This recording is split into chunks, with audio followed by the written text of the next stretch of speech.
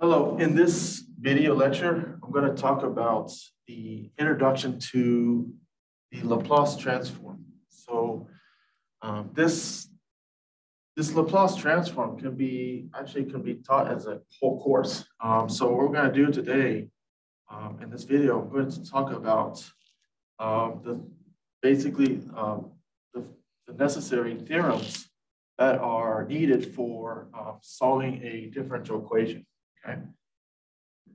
All right, so the first thing is we're going to define what a Laplace transform is? All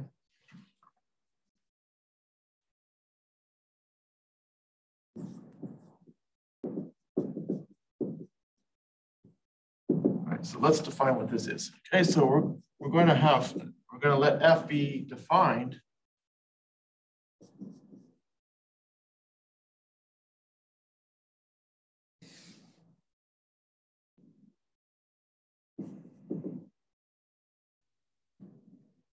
Okay, so let f be a function defined for, let's say, t bigger or equal to zero. And let s be an element of the real numbers. Then the Laplace transform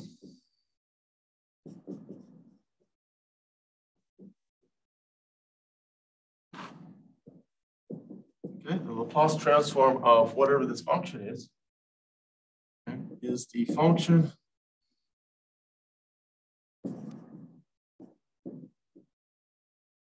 Let's denote this by F, capital F.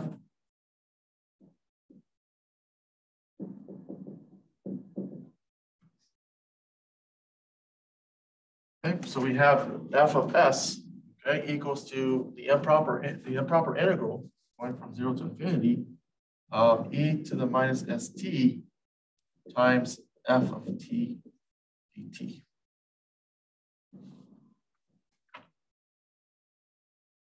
All right, so so we have an improper integral, right? Okay, so um, this is an, an improper integral with respect to t. And when we go through the mechanics of this, we end up with a function of s, okay? Okay, so for those values,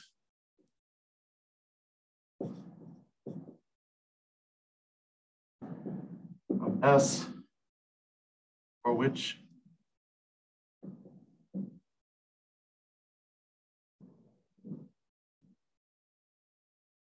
for which this improper integral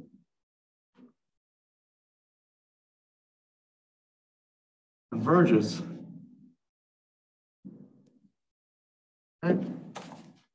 So remember, so with these type of integrals, depending on what's going on here, this may converge or diverge. And for those values of s that makes this converge, that is the result that we're interested in. Okay. Okay, so also make, you know, um, we, right, we're assuming that t, right, we're assuming that t is our independent variable here.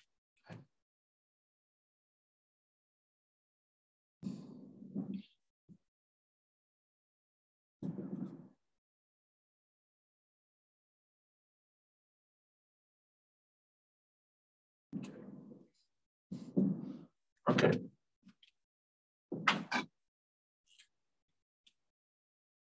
All right, so basically what what's going on here is let's say okay, we have set here.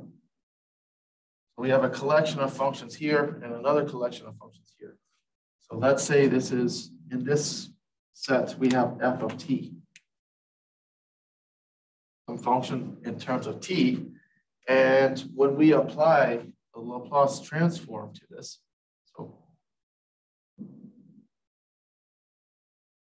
okay, which is what this is, then our outcome, right, our output is going to be some function in terms of S.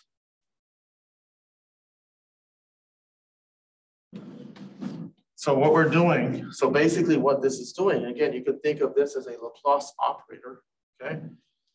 So you're basically taking a function in this domain right? In this T domain, and sometimes T here, um, for working with applications, sometimes T is um, referred to as, the, as a time variable, okay?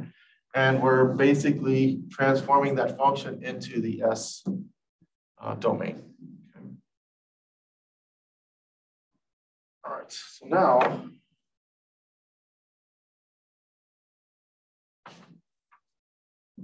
Okay, so let's um, so let's take a closer look at this. Okay.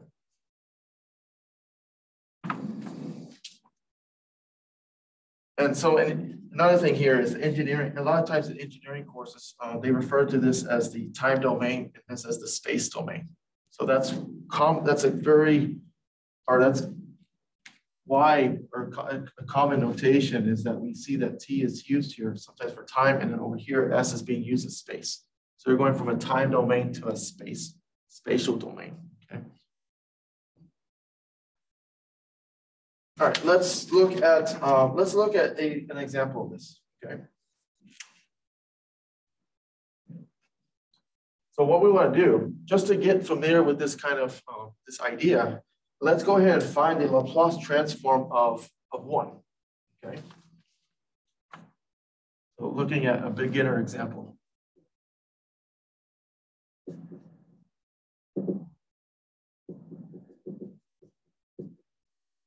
All right, so let's say we want to find the Laplace transform.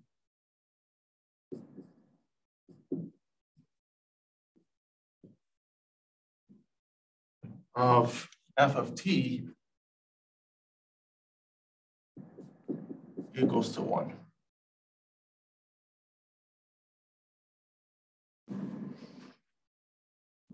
Okay, so let's carefully go through this.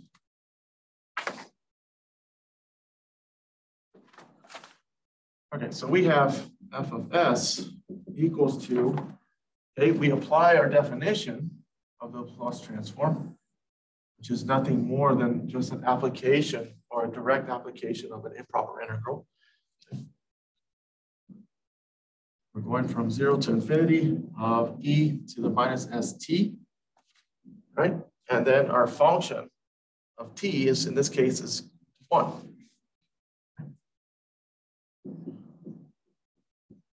Right, there's our integral, okay? And obviously we can rewrite this as integral from zero to infinity of e to the minus st. And we're taking that integral with respect to t. So, okay, um, so from your calculus course, you learned that the first thing you should do here is to um, change, is to convert this into a limit. So I'm going to use the, I'm going to use b, okay, to denote the upper limit of this integral. So we want this part to approach infinity. So we have the limit as b approaches infinity. And then we take, right, and then we rewrite this as 0 to b. Okay, so now let's go ahead and evaluate this. So we have the limit as b approaches infinity. Uh, remember that we're taking the integral with respect to t. So in this case, when we do that, we're going to get uh, minus 1 over s here times e to the minus st. Okay, and we that's after taking the limit. We're going to evaluate from 0 to b. All right. So you can get this result by just using the composition rule for integration, right? You let you let some variable, let's say u, b minus s of t, or minus s times t. When you take the derivative, you get uh, minus s, and then you take the reciprocal of that. Okay, and that's what you get. Okay, so it's just a, this is just a direct consequence of using the uh, composition rule for integration. All right, so now let's, um, we just need to apply the fundamental theorem of calculus here. Um, so we're going to end up getting, let's see, minus 1 over s minus s times b. Okay, remember this is a function of t here. So we're, okay, so we evaluate this at b and 0. This becomes plus because we have a minus here. So 1 over s e to the 0. Okay. All right, so this is going to give us, all right, um,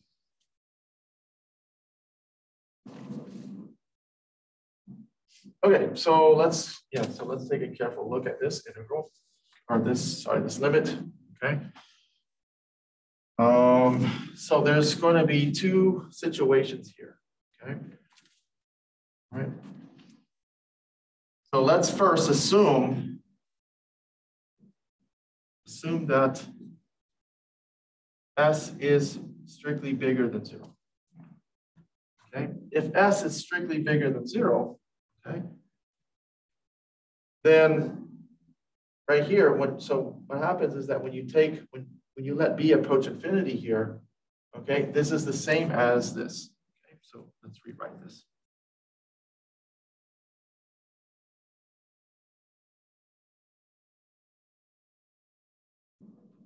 let me clarify that.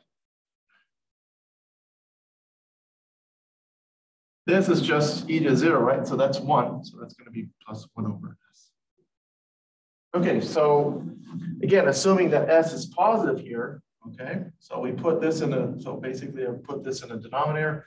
And as b goes to infinity, this term right here, okay, this associated term goes to zero. And therefore we're left with one over s, okay? Right?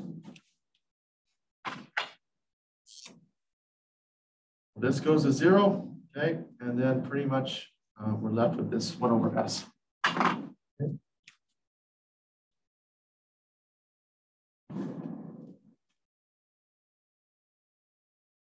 okay, so there it is.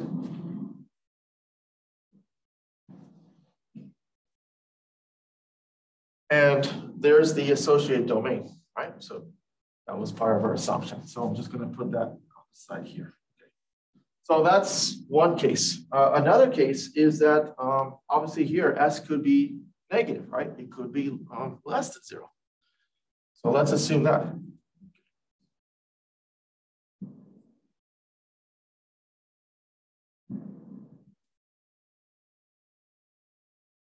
So going through this, so now going through the same process here, since S is negative, that's going to make that that's going to make this part positive because of the negative there. So we have the limit as b approaches infinity of minus 1 over s, okay, e to the sb plus 1 over s times e to the 0. Well, we know, or we already know that's going to be 1 over s. Uh, but what happens here? Well, again, this is this is positive, right? Because you take this s is negative, and you have a minus there, so that makes that a positive value right here. And b is approaching infinity, so that term is blowing up. Okay? So that goes basically goes out, right? It, it's unbounded, okay? And regardless of what's happening here, right, infinity plus one, well, that's still going to be infinity, okay? So it diverges, okay?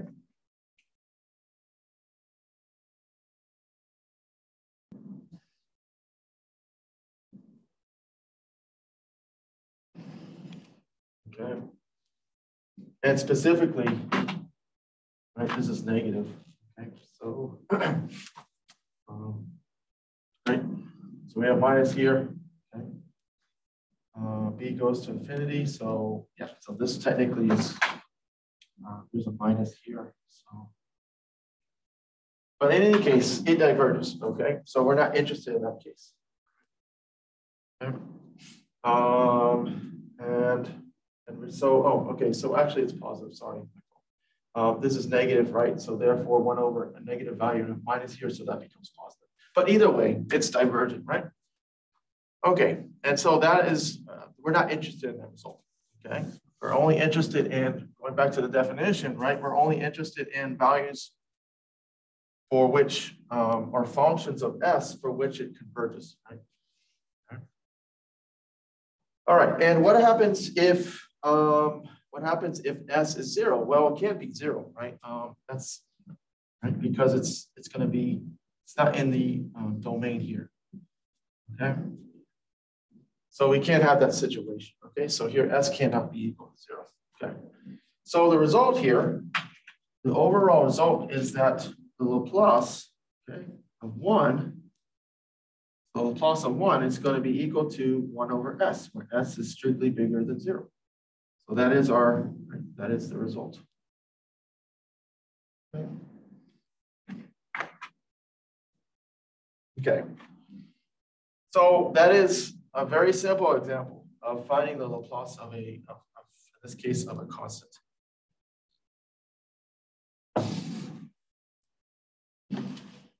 All right. So let's look at a different, let's look at another example. Sometimes when looking for uh, Laplace of, or taking the Laplace of a function, sometimes we can get a little bit clever, okay? So that we don't necessarily have to go through all this again. So let's, let's go ahead and take a, uh, take a closer look at that.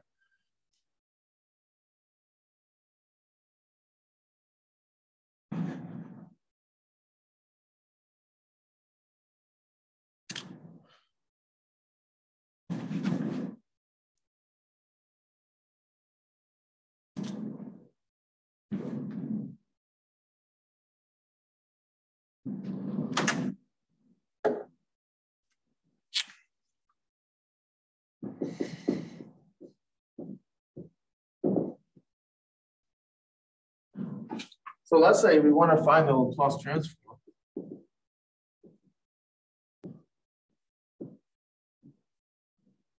Of the following function.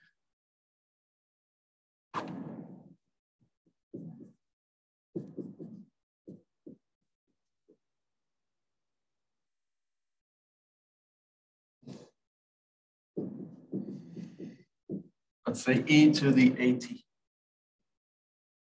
where a is some constant.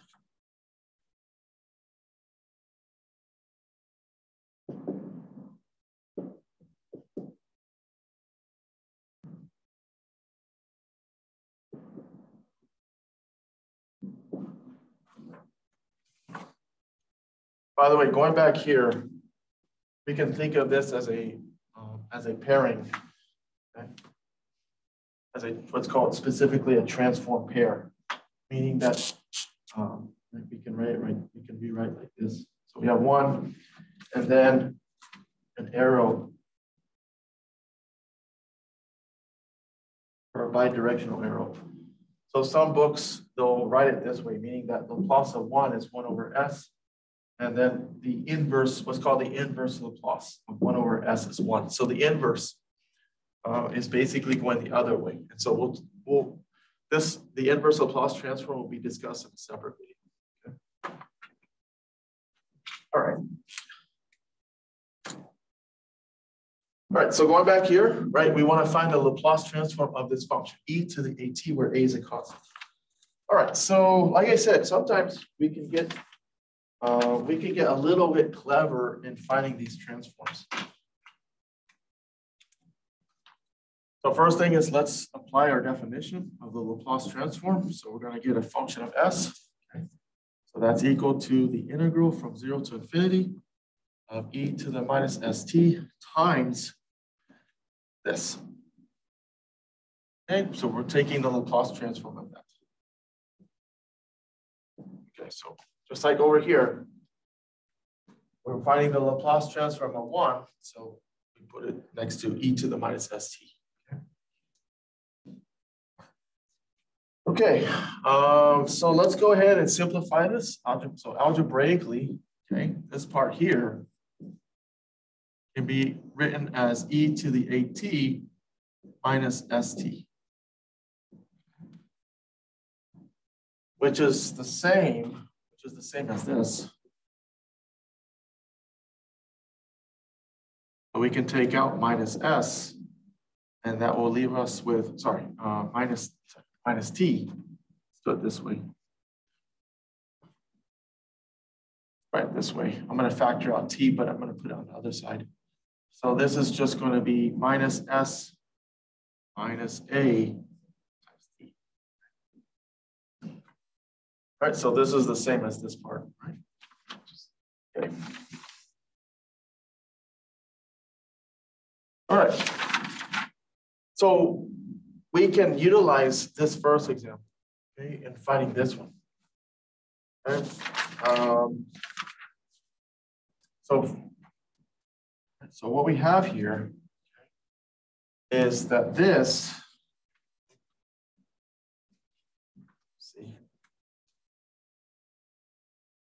So what we can do uh, is we can, right? So we, basically we have, what we have here, right, is, um, is kind of like what we have over here, okay? Um, right?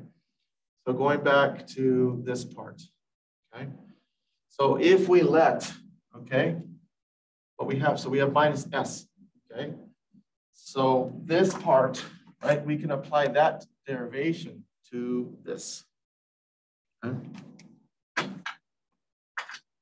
So what we can do is we can let, can let capital S be equal to S minus A and then apply that idea because we already did the work. We might as well take advantage of it. All right, so, okay, so that means, okay, this is going to give us,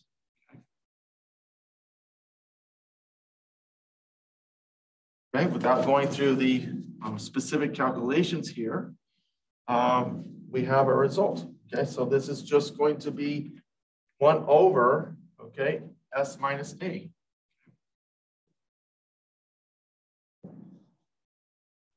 Again, how we got this? Well, Again, we just look here.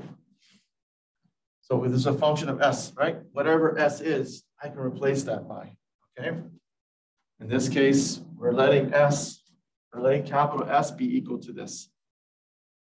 Okay, so we just replace, right? We just replace this s with s minus a, and that gives us a result, okay? Now keep in mind here, um, that s must be bigger than a. Okay. And that's just going back here, right? So we said, because S, because S minus A,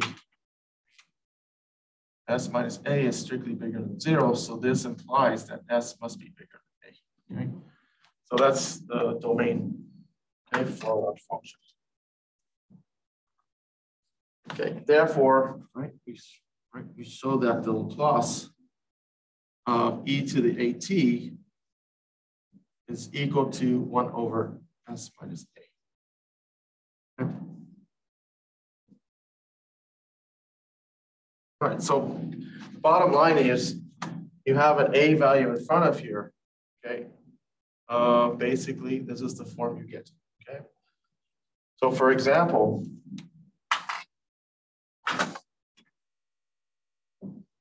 let's say you're looking for the Laplace transform of e to the um, let's say minus 4t, then we don't have to go through and rederive all this. Just use, basically just use the results. In fact, there's some, um, in fact, there's a Laplace table um, that that is in um, that's in a lot of the differential equations books and engineering books um, that have a table of functions and their corresponding Laplace transforms. Okay. So that will be I'll show you that later. So the Laplace of something like this is just going to be 1 over, okay? A here is acting as minus 4, so this is just 1 over S plus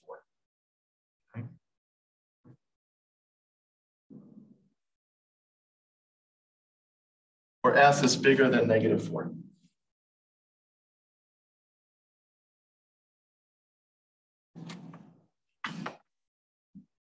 Okay. So that's uh, a nice little application there. Uh, we can also talk about Laplace transforms of, um, of trig functions. Okay. So let's do, let's look at that for the next example.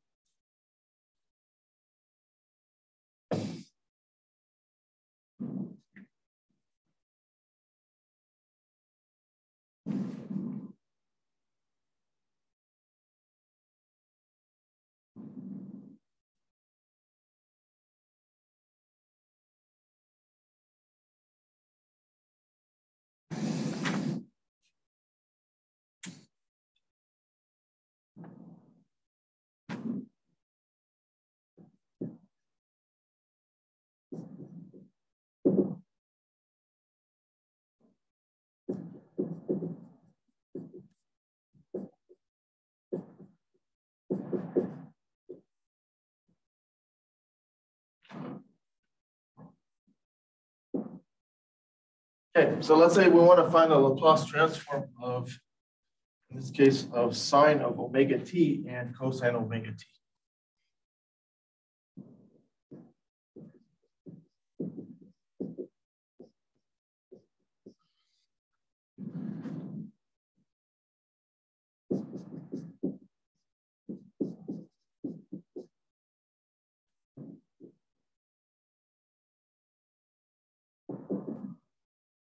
where omega is constant.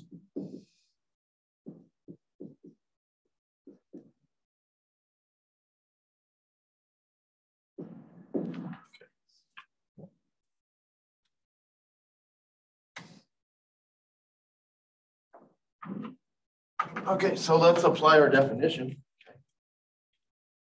So again, we can do this. Um, we can get both of these um, relatively easy, actually. Um, by being a little bit clever here. Okay, okay so we're going to let f of s be equal to the integral from zero to infinity of e to the minus st times sine of omega t dt. So again, just setting up or just applying our Laplace transform definition. And g of s, uh, we can set that up, or we can let g of s be equal to the other one.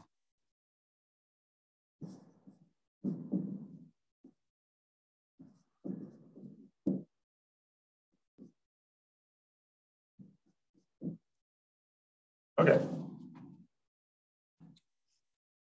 All right, so um, let's focus on um, f of s, okay? All right.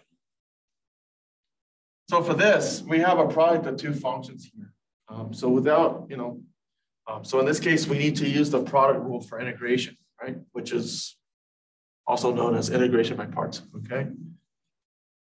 All right, so when we do that, okay, we end up, well, let's first, yeah, let's first take the limit here. Set up our limit.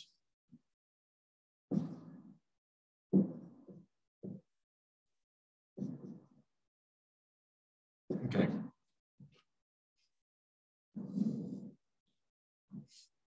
Okay, and then applying the integration by parts, right? Okay, we end up getting this. So we're going to take the limit as b approaches infinity. We have um, e, let's see, minus e to the negative st divided by s times sine omega t.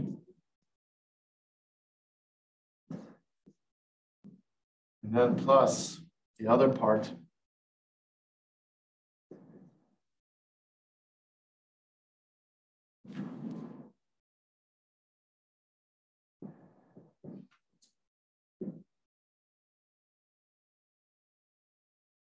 Okay. So again, this is coming from uh, basically just applying the integration by parts here. So you have, right, you have this part, okay, so that's the u times v minus the integral v du. That part is here, okay. Okay. So um, let's go ahead and go ahead and evaluate this first part, okay. All right, so since v is going to infinity here, okay, and we need to, so we need to go ahead and evaluate this.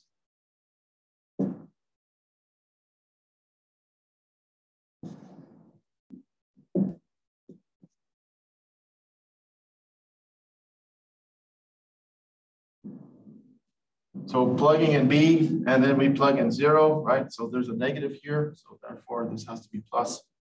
Um, so that's going to be e to the zero when you replace t with zero. And then, so that's going to be one. And then sine zero, obviously, is going to be zero. So this is going to leave us with one over s. All right, and then we have the other part here.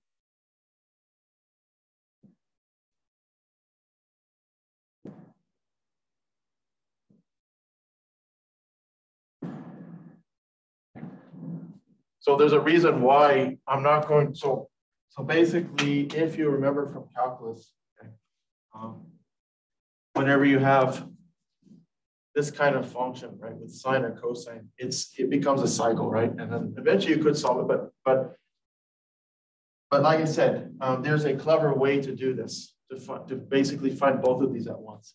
And that's what I'm, that's what I'm trying to convince you here. Uh, all right, so, all right, so um, let's go ahead and take the limit of this part, okay? So this is going to give us, as b approaches infinity here, um, this part right here is going to go to zero. And then we're left with one over s. Okay? So one over s, and then plus the limit as b approaches infinity of this part.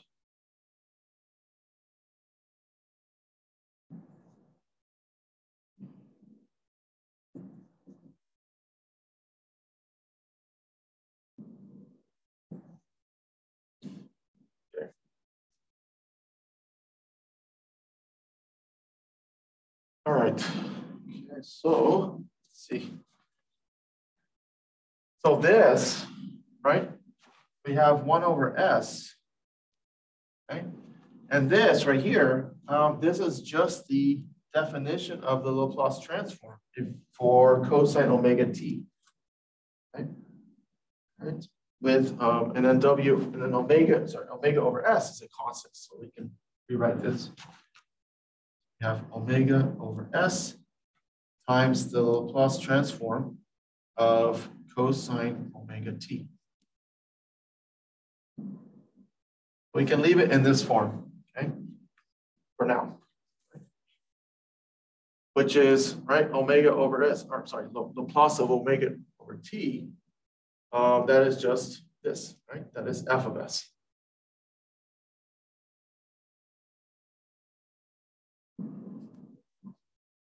Okay, going back up here. All right, that's what we have here. Okay. So this is just a Laplace, right? The Laplace of omega, or sorry, of cosine omega t. Okay. All right.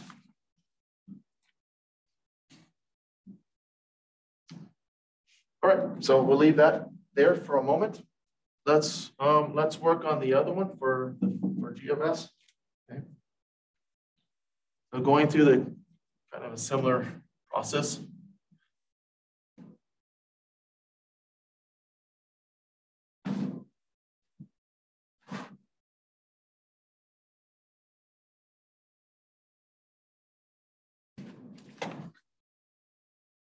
Okay, I'm gonna call this, we're gonna go back to this later. Um, let's see.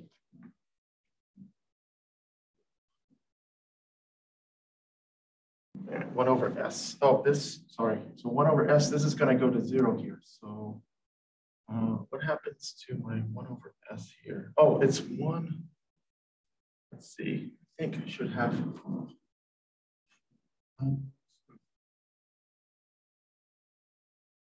That's for f of s. So what happened here? Why do I have one over s there? Hmm.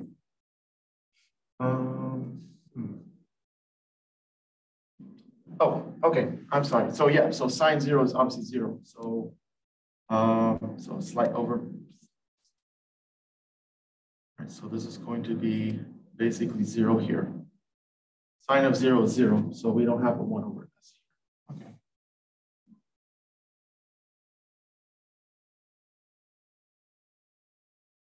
Okay, so yeah. So again, um, so sine zero obviously is going to be zero. Um, and then we got E zero is one, but then, right, that still gives us zero. Okay, so this looks better. Okay. So we only get omega over S times F of S. All right.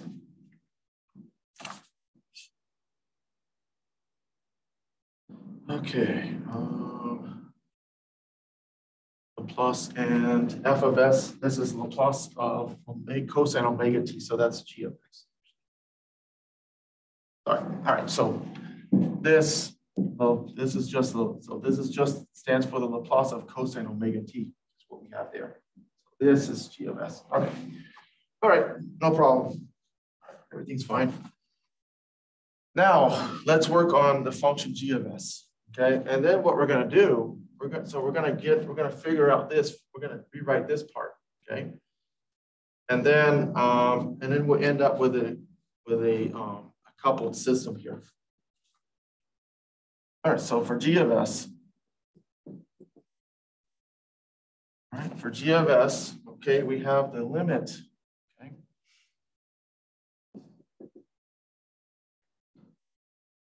As B approaches infinity, so we're going from zero to B uh, of e to the minus st times cosine omega t dt. Again, you can use the product rule for integration here, just like we did for um, f of s. All right, so we end up getting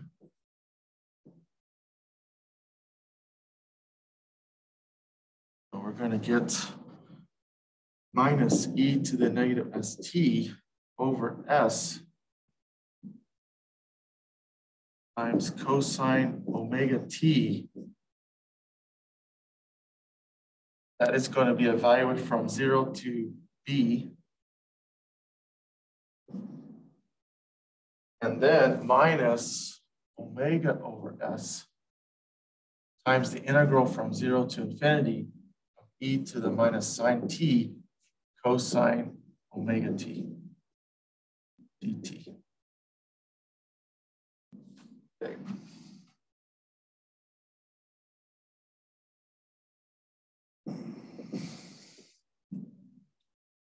Okay, so applying the limit to this, we get minus, okay, uh, this is going to be E to the minus SB over S times cosine omega B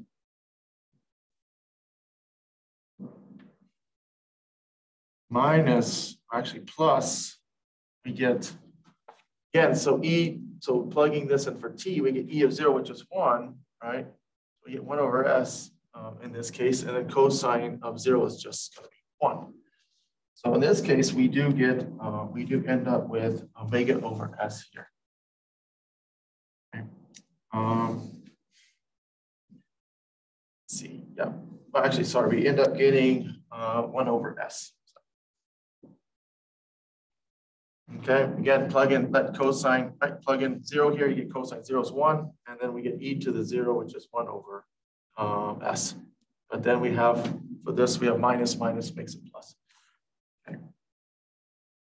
And then over here, we have omega over s times the integral from zero to infinity of e to the minus st times cosine omega t.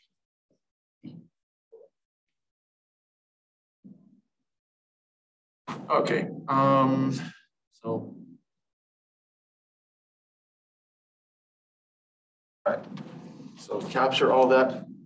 So taking the limit of this, e to the, so this is minus, so this is going to go to zero, right?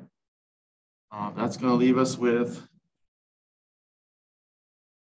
okay, that's going to leave us with 1 over s minus omega over s times the integral from 0 to infinity of e to the minus st times cosine omega t dt. Okay. And again, this part, just like over here, okay, just to reiterate here, this part right here that is basically, that is the Laplace transform of cosine omega t. So that's replaced by g of s. For here, okay, and this part, that is the Laplace transform okay, of,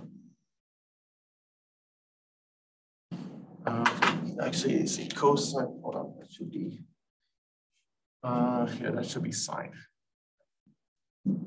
because I'm using cosine here. So this is. So I'm going to, again, this is just an application, right? Just using integration by parts here. So we get cosine here, and then this should be, okay, this should be sine. Okay, so there you go.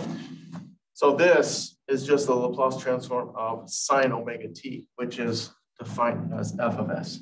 So we end up getting 1 over s minus omega over s times f of s. Okay. Alrighty, so um, so now, okay, so this is g of s, right? And that is over there is um, this is f of s. So let's write those two equations out. Let's do that here.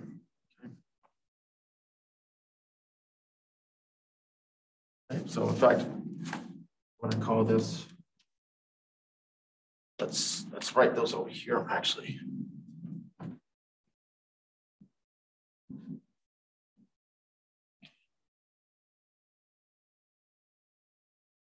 All right, so from the first, from the first derivation, okay, we have, um, this was for um, if I recall correctly, yeah, that's for f of s. Okay, so we have, so f of s was equal to, we got to this point.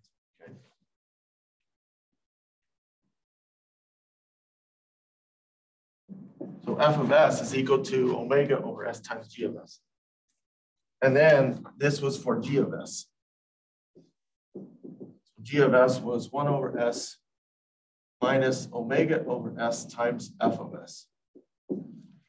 Okay, so we have basically we have a um, a system, okay, system of functions here. Okay, so we so we can solve this. All right. Okay. Let's call this one, and we'll call this equation two. So what I did here, or what we can do here, is we can substitute one into two. Okay, so f of s is equal to this. Okay, so we're going to end up getting g of s equal to 1 over s minus omega over s times omega over s times g of s. So substituting this into, into here. Okay? And then this is going to give us, uh, basically we have g of s equal to 1 over s minus omega squared over s squared times g of s. Our goal, right? Obviously, our goal here is to is to find g of s and f of s. So we can easily solve for g of s now. Um, okay, so um, this, let's go up here. So g of s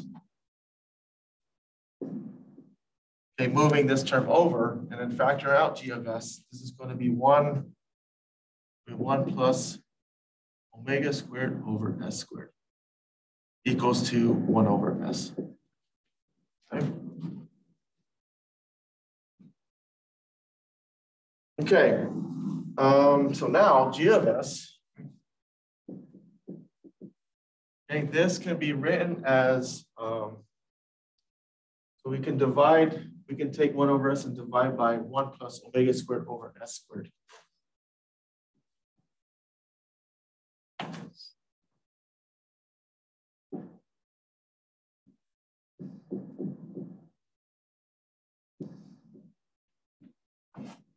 All right, and we can write this in a cleaner way. Okay, we can do that just by multiplying each term, or in other words, um, multiplying the top and bottom by s squared. Okay, so multiplying each term by s, right? Multiply top and bottom by s squared. So I'll just indicate that here.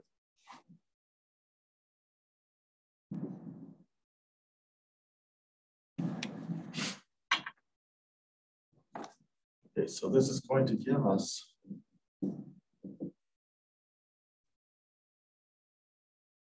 we get s on top, and then we have s squared plus omega squared. And keep in mind that S, S is strictly bigger than zero.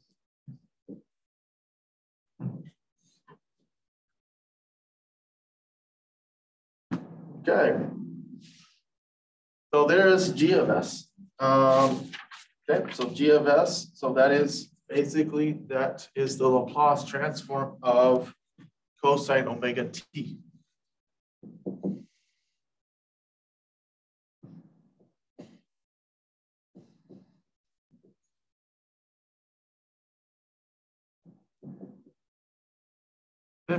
So whatever omega is here, right, you're going to input it into this omega.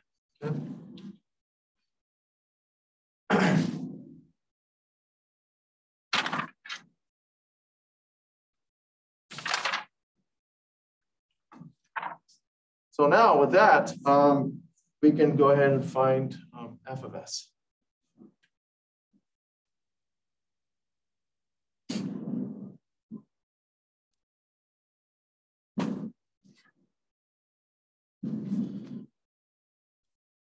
All right, so f of s, right? Um, so f of s, basically, we can get that by going back here, okay?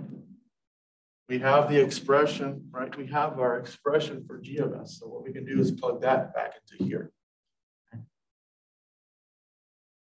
Okay, so since g of s is equal to s over s squared plus omega squared, then f of s is going to be omega over s times s over s squared plus omega squared. Okay, and um, obviously here s's cancel out, right? So we end up getting omega over s squared plus omega squared. Okay where S again is strictly bigger than zero.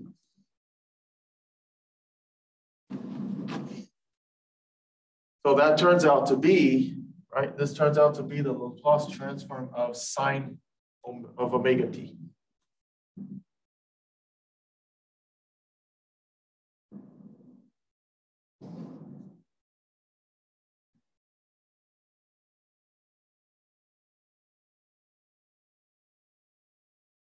Okay, so there it is. So, you know, we went through, we derived these.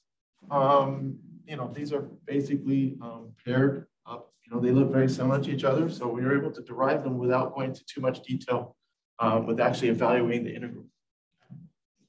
So these are complementary of, of these are basically complementary of each other. All right, so there is, like I mentioned, there is a table uh, there's what's called Laplace or a table of Laplace transforms, okay? Because sometimes, you know, deriving these can be really, um, it could be, you know, take, it would take time, okay? So luckily we do have a table that we use for these. Um, so let me try, let me bring that up. Here.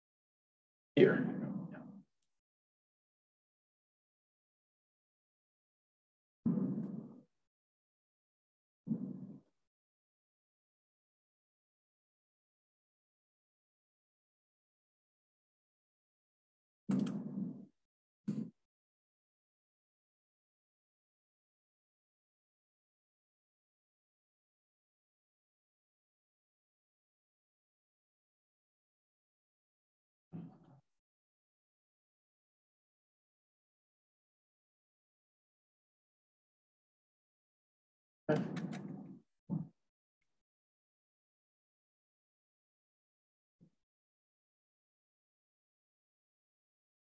right, so I'm gonna go ahead and share the screen here.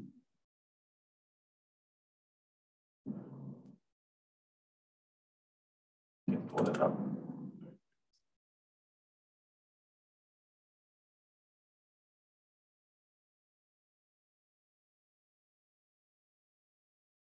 All right, so this is basically the, the, the uh, table of Laplace transforms that I was telling you about. Um, right here, you can see that for the first one, the Laplace of one, okay, is, okay, um, one over S. So this is the, right, so here, these are the functions, right, and then, um, right, and then over here is the, basically the, uh, the Laplace of those functions in terms of S. And if you if you look here, if you notice, here is the Laplace of sine, right? So here's sine of AT. In this case, they're using A instead of omega. So it's the same idea, right? A is the constant. So Laplace of sine AT, that's just going to be A over S squared plus A squared. Okay, that is what we derived while ago. Okay. And okay. Let's see, yeah, okay. And then for cosine AT, right, we have S over S squared plus A squared, where A is the constant. Okay. All right. And there are some others here. Okay. Notice this one right here, this is T to the N, E to the AT. So depending on, right, so depending on what the power is here, okay, for N, and you're gonna have to take factorial of that. So um, so the larger the n value, the larger this value, this, this uh, Laplace transform is. We got one for the Heaviside function, which is just a shift. And then um, you have the Dirac delta functions. Okay, those are pretty interesting. Those are used more commonly in physics. Um, you have that, okay, so you have some other combinations here. Here's e to the at, which is the one we just derived a while ago. Um, and then you have, if you notice down here, you can, um, there is a way to take the Laplace of a derivative. Okay, so this is for the first derivative. This is what it looks like. This is for the second derivative. So these we'll be looking at, we'll be deriving those later on, okay, in another video. And then you have the general form. So you have the nth derivative of f, of, of f of t. So that's the general form here. So we'll be using, so the idea here, um, the general idea is that we can use this to solve a, uh, the goal, or actually the goal here is to basically use a Laplace transform, okay, to solve a differential equation. So the idea is you take, you're given, let's say you're given a homogeneous differential equation, doesn't, well, doesn't necessarily have to be homogeneous. Let's say you have a um, uh, nth order differential equation, right? uh, with some initial values. Okay, so you can take, the idea is to take the Laplace transform of both sides. And then with that, it is possible, right? We can actually, um, from there, you can implement the initial values. And then what you do is you take, um, you figure out the Laplace transform each, of each term, and then you go through and solve it, set it up in a certain way, and then use the inverse Laplace transform to come up with the solution. So that process, we're, we're going to discuss this um, in another video, okay? So like I said, this video is just primarily concerned on, it's just an introduction um, to this Laplace transform.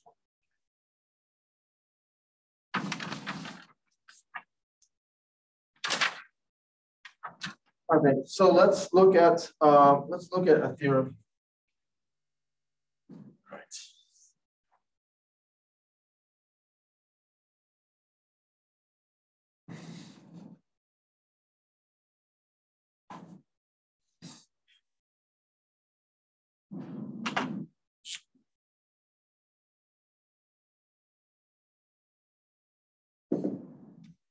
This is a very important theorem for what we're going to do later.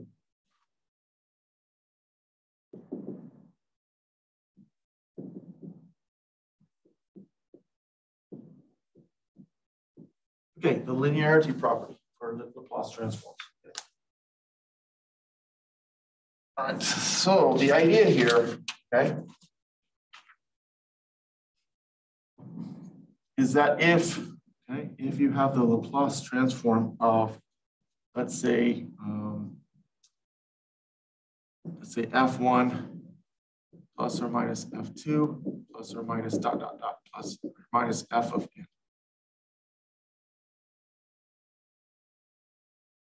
Okay, and each one of these, right, F1, F2, F of n is some, it represents a function, okay?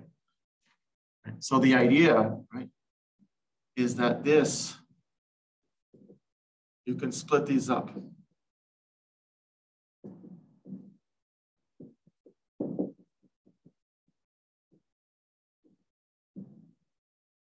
into smaller Laplace, into smaller Laplace problems, okay?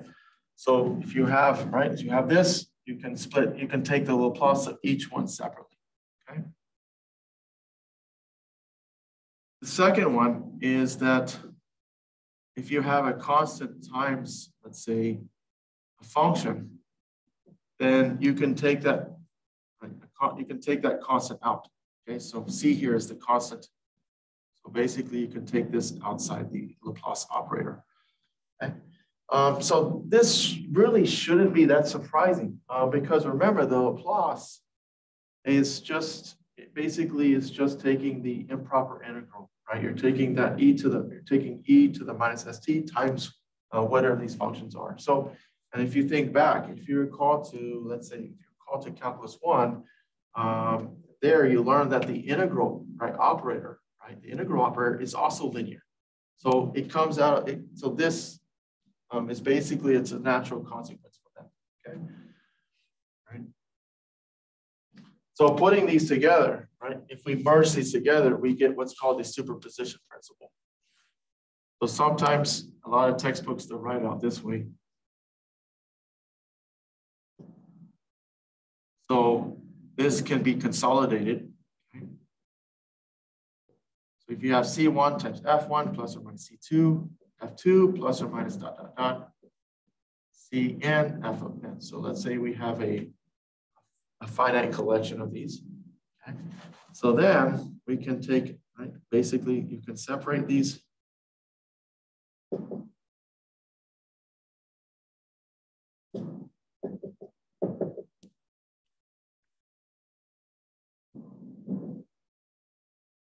right? Using the first property and then using the second one, you can take out the constants from each one of these.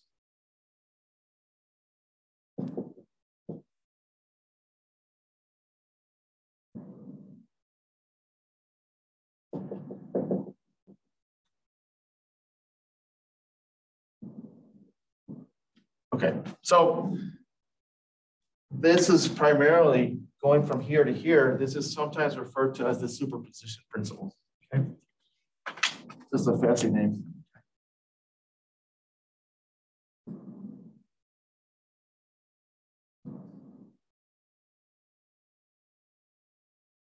So again, it's just superposition principle is basically consolidation between those two properties for linearity. Okay. And we see this often, right? Again, this uh, we know that the okay, we know limits, right? Limits are linear is a linear. You can think of limits as a linear operator.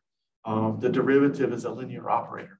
The integral is a linear operator. Right? Um, summations are a linear operator. In fact, because summations are, is a linear operator, therefore, as a, as a consequence, um, integrals is a linear operator.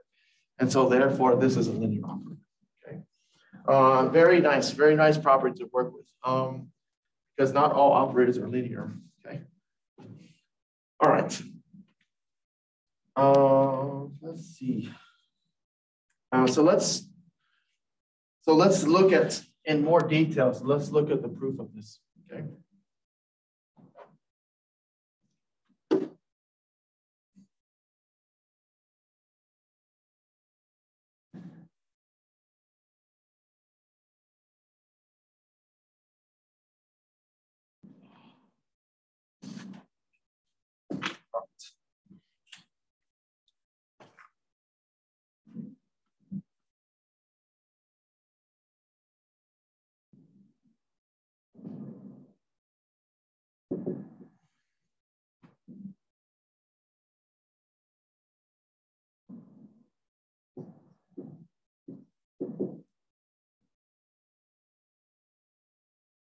All right, so we're gonna um, show this for n equals to two, but once you once you understand this, then this can be um, you can generalize this through um, uh, through mathematical induction. All right, so we have the Laplace of C1, F1 plus or minus C2, F of 2. Okay, so we want to show, basically we want to show that um, this is equal to C1 times the Laplace F1 plus or minus C2 times the Laplace of F2. So we can go ahead and apply, um, we can go ahead and retake, or go ahead and apply the integral here. So this is going to be the integral from zero to infinity of e to the minus st times c1 f1 plus or minus c2 f2. And we take the integral with respect to t, right? Um, yeah, so, all right. So then from there, okay, um, the rest is pretty obvious here. You can, because the fact that the integral, the integral can be thought of as an operator, it's also linear. We can split this up.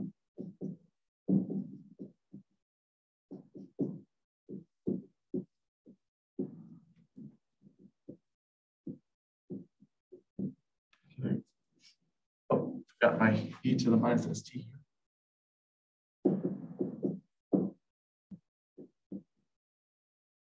All right, that looks better. Okay. Um, C1 and C2 are constants. Okay, so we can take those outside the integral.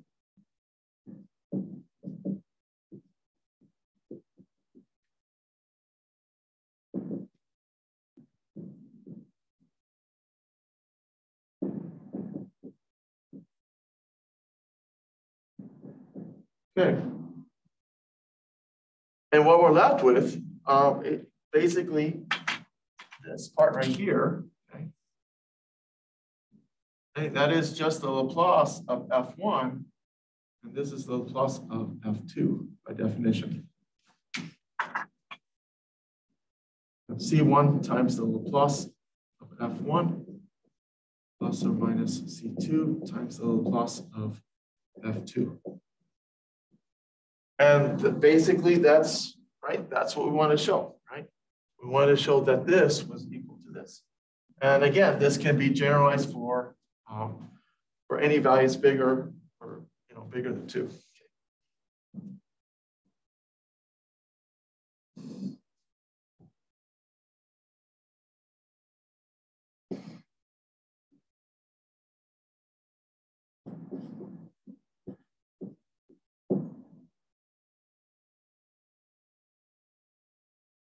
So again, it's really, it, you know, this really shouldn't come as a surprise. It's, it's a direct result from the fact that the um, that the integral operator is also linear. And like I said, I mean, so this is going to be important because again, what we're going to we're going to use this for is that we have our differential equation, right? And then what we can do is we take the Laplace of both sides, and then we can use this to basically split up, take the Laplace of each term, and then, and then go from there, okay? So again, this is a very nice property in math to work with. Uh, we're very fortunate that this can be done because not every operator can be, can be, um, not every operator you can do this with. Okay. All right, uh, let's see, let's so let me show you, let me, so let me show you, um, let me go over an example where we can, where we can apply this. Okay. All right, I'm gonna go over here.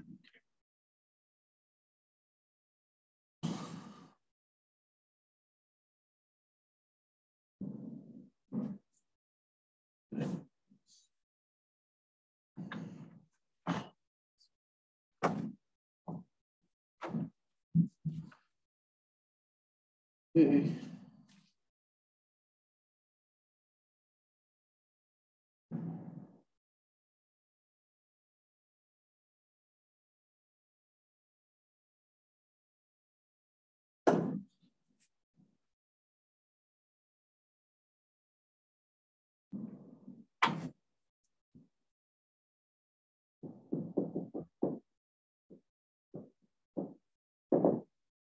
All right, so let's say um,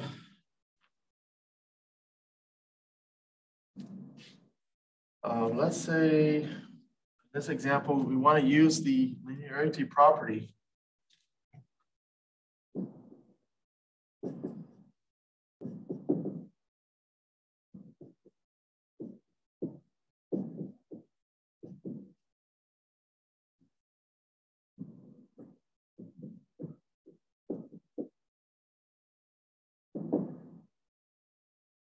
And this right, the Laplace, right, the, the Laplace of E of e to the at, which we already derived, is one over s minus a.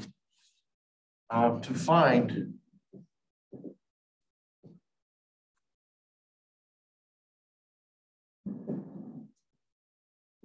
the Laplace of the hyperbolic cosine of b, uh, b times t, okay?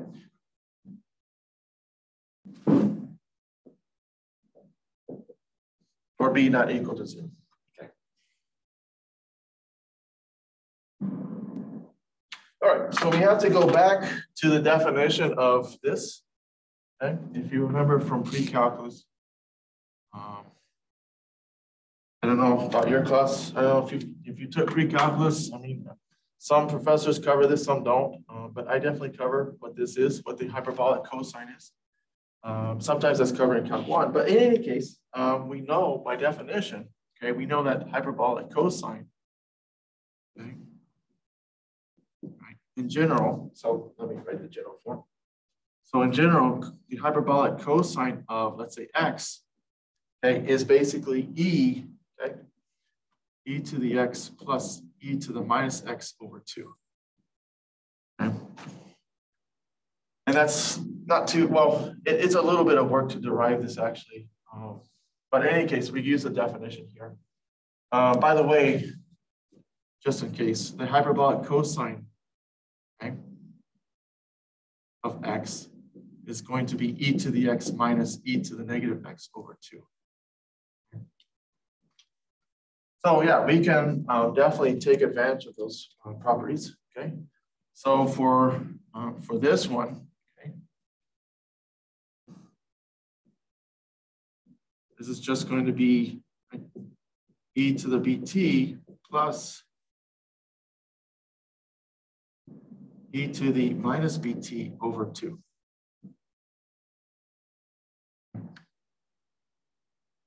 So taking the Laplace of this will be equivalent to taking the Laplace of this, okay?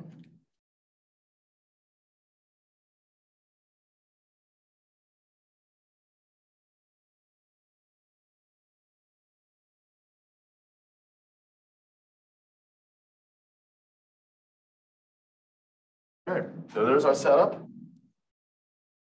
Okay, so using the um, the fact that the Laplace is a linear operator, apply that here.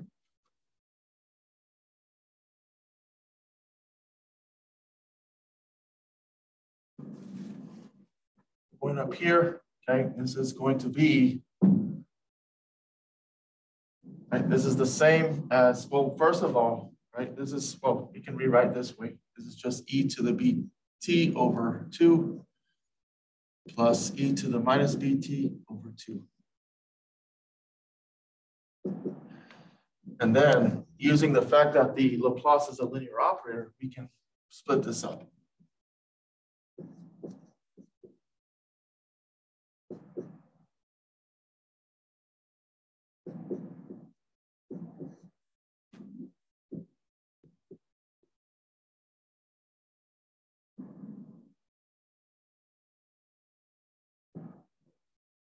Okay, and then one half, right? We're dividing by two. So that's, we can take the constants out again because the Laplace is a linear operator. So we have one half times the Laplace of e to the bt plus one half times the Laplace of e to the minus bt. And we've already derived the, the uh, we've already derived the definition for Laplace of e to the bt, right? That was this one. So for this one, okay, we're going to get one half times, this is going to be one over b minus a, okay?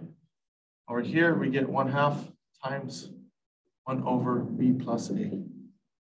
Since b is, uh, okay, uh, since, uh, oh, sorry, I wrote, sorry, I forgot. We're in terms of s, so this will be, sorry, my fault, uh, s minus b. Over here, this will be s plus S plus B. Okay, so yeah, that makes more sense. Okay, so we have a result here. Um, so we can um, we can actually clean this up a little bit more, okay? Um, right, we have, we can multiply this one by S plus B and this one by S minus B, so.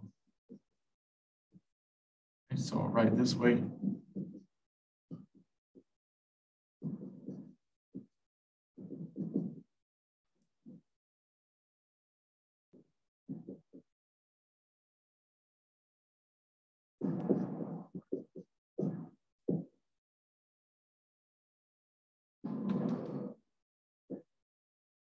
I want to multiply this side by S minus B.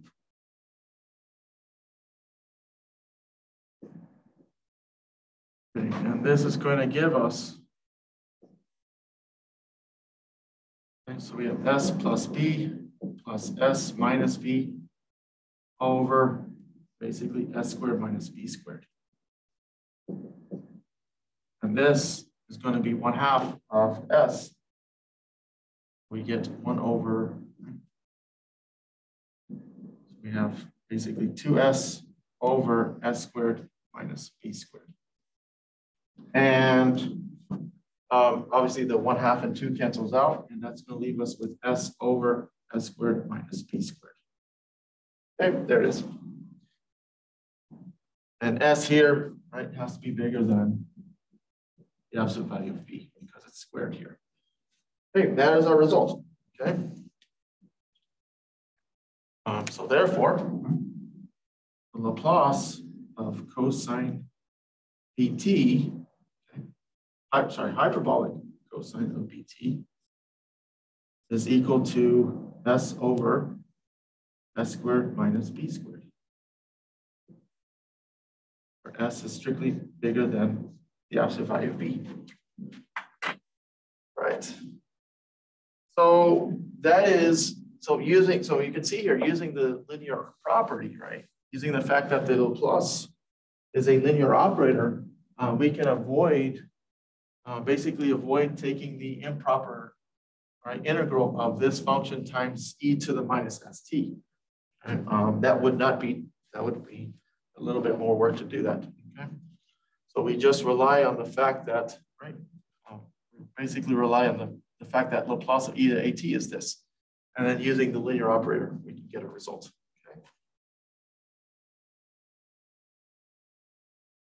Okay. And if you look this up in a table, right, you'll see that they have this form.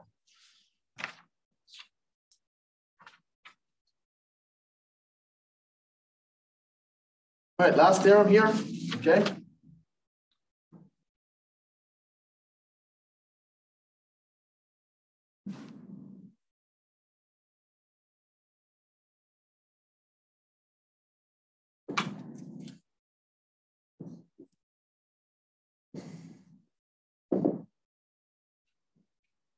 Okay, so if we have a function of s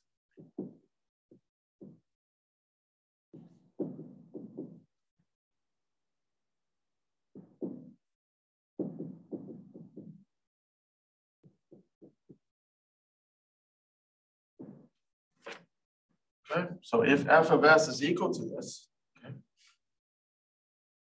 so that is, is the, right, this is basically, this is just a Laplace transform of f of t.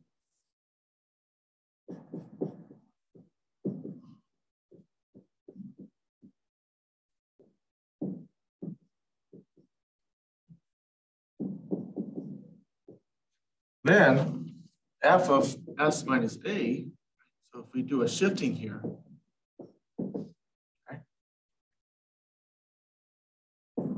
is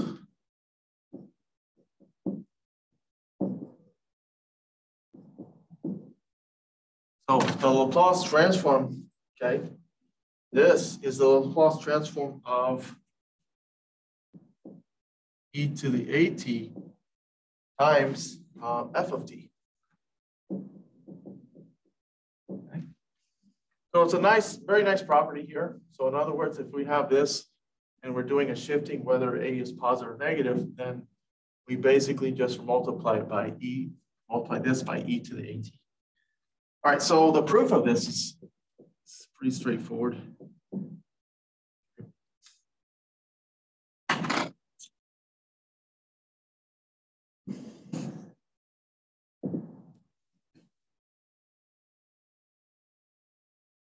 So what we're going to do um, is we're going to let, all we need to do is let S be equal to S minus A.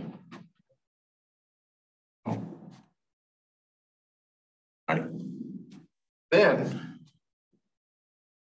you can basically use this result, okay?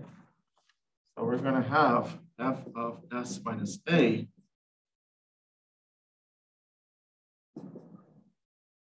is equal to the improper integral, right, from zero to infinity of e.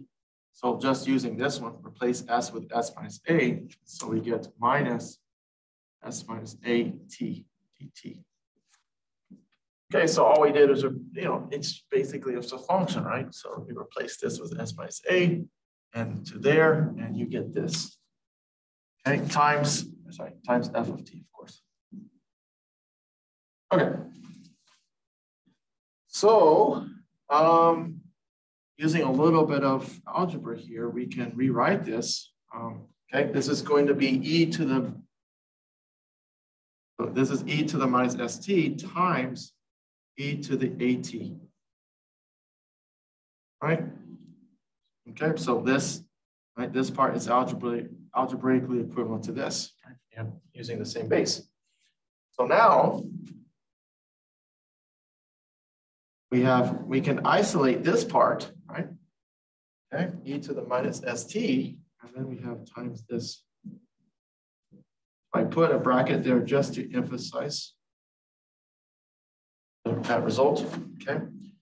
So this, right, this is e to the minus st, and then you multiply it by this. So that is, so therefore, right, this is the Laplace transform of this function. Okay.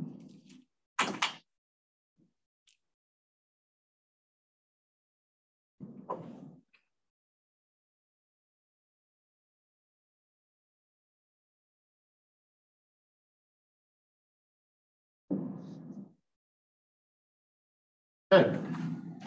Right, um, there it is. Okay.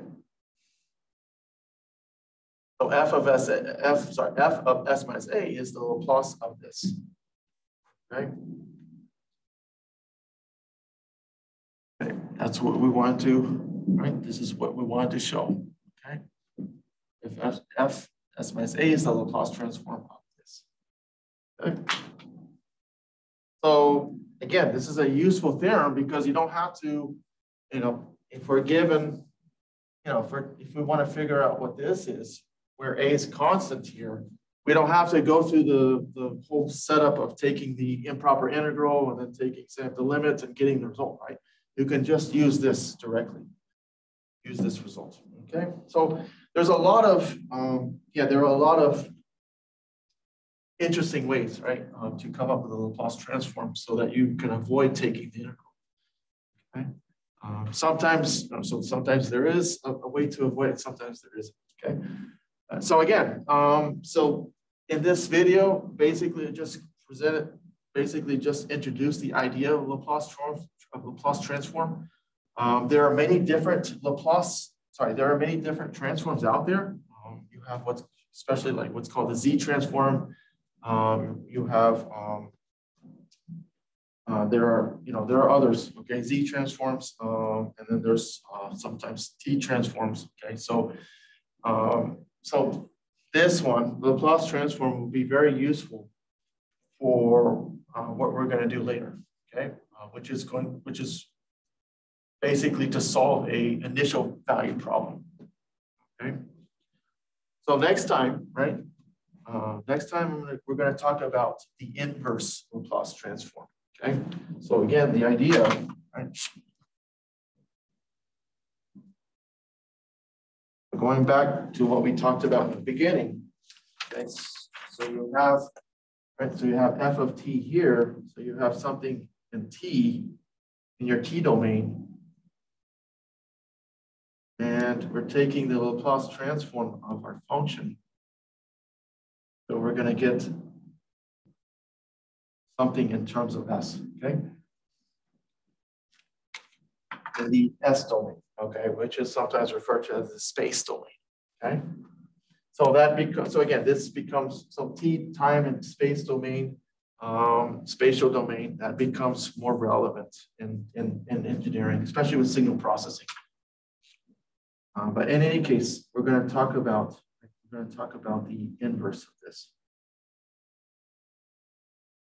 And luckily, we have the table uh, that can help us out. But there is, of course, then um, we need to, you know, if you have something more complicated, right, on this side, then we need to somehow decompose it, right? And then go back from here to here, okay? So one of the techniques to do that um, is what's called the Heaviside method.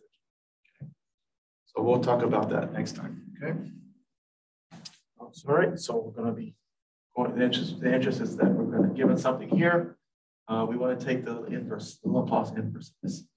And it turns out um, that the Laplace inverse is also um, a linear operator, which is which makes sense, okay? Because generally, if something, if you're going from one set to another, okay, if you're going from set A to set B, if that is through a, if that operates linear, then, uh, then this uh, going from here to here is also going to be linear.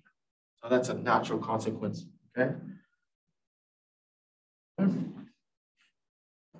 Just like with integrals, right? take, right? So if you're going from here to here, you take, for example, you take the derivative, that is a linear operator. So therefore, as a natural consequence, you're going the other way, which, which is the antiderivative, right? Integral. The integral is, um, is also linear. Okay? All right, so I'll go ahead and stop here. Okay, um, like I said, the Laplace transform, this can be, this in itself can be a whole course as a math uh, if you're going to, um, if you're major, if you're playing to major math, um, you'll take a, a, whole class on this. All right. So this is just basically what I showed here is just skimming the, it's just the tip of the iceberg. All right. Um, and it's enough, to be honest, it's enough for what we need for, for um, solving a differential equation, and particularly initial value problem. Okay. So, all right. Um, so I'll stop here. Okay. And uh, see you all next time.